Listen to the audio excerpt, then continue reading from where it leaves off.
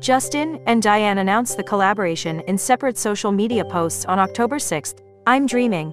Captioned the video of her living it with Justin. That it was an honor to work with Justin Bieber and his incredible team. In the preview of the video, directed by Colin Tilley, Diane's character had the time of her life with Justin. However, with the song about losing a loved one, Young Blood thinks there's always tomorrow. I miss your touch some nights when I'm empty. I know you've crossed a bridge I can't follow. This preview was a Pixar set for a big heartbreak.